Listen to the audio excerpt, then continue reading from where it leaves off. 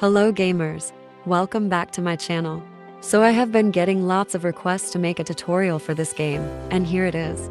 Also, if you are new to this mobile game, then this video is for you. Make sure you watch this video till the end, cause you will be learning all you need to start flying. So first, after downloading the game, this is the first page you are going to see. We have basically four chapters in the game. Number 1. The Flight School. If you are new to the app, I recommend you go through the flight school first, because it's going to teach you the basics of the controls, takeoff, landing, traffic pattern, and many more. Secondly, we have challenges which ranges from instrument malfunctioning, canyon races, aviation challenges, and everything in between. The third chapter is the free flight, which I don't recommend you jump into at first if you are new to the app. Make sure you go through the flight school first. The free flight option is where you can set up a custom flight scenario.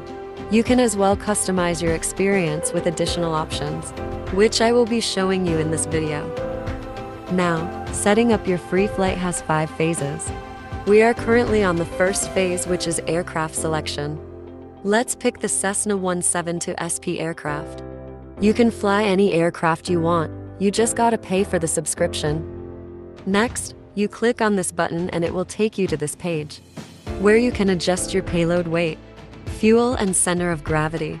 In some cases, it is recommended to leave these settings to default, especially the center of gravity, so your aircraft doesn't misbehave while flying. You can reset everything to default with this button. Now, if you want to start your flight with engines running, you can check this box. Leave it unchecked if you want to start in a cold and dark state. Second phase is the map button. You can start in any airport in the world. You just have to make sure you know the ICAO code. Because typing the name of the airport might not give you the exact airport you are looking for.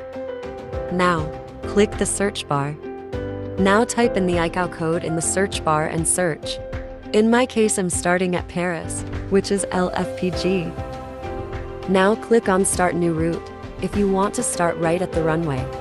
Just make sure you switch to runway here and select the runway you want to start at. In this case, you have to make sure you are starting with engines running from the previous page. If you want to start at the gate, you can switch to ramp here and select a particular gate by the drop-down list or by zooming into the airport and selecting any gate you want. Once ready, click Done and go back to the map and add destination airport to your route. This is not compulsory, but it makes setting up your MCDU or FMC much easier. Search your rival or destination airport and select Add to Route. Now you can see your route on the map.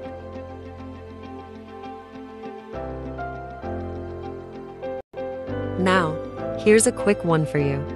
Do you know you can actually fly from any airport to any airport completely offline? Just tick these boxes and click on Pack Flight. Make sure you have an internet connection. And then all resources needed for your flight will be downloaded. The next phase of the free flight is weather customization, which has a basic and advanced mode. If you just want clouds in your game or wind and rain, just adjust the intensity here. The advanced mode lets you determine a particular altitude for both the upper and lower cloud, level of storm, visibility, turbulence, and many more.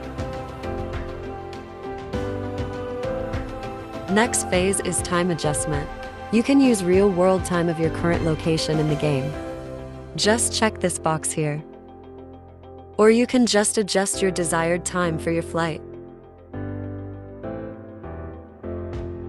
The last phase is the failures. Here you can set engine failures, elevator failures, autopilot failures, and much more during flight. If you do not want failures, you can just click this button to reset all systems to working. After this, you can go ahead and click this button to start your flight. The last chapter in the app is the massive multiplayer, which I will be breaking down in another video. So stay tuned and subscribe to my channel, cause I will be bringing you more tutorials for this game. And trust me, you don't want to miss them. See you in the next video.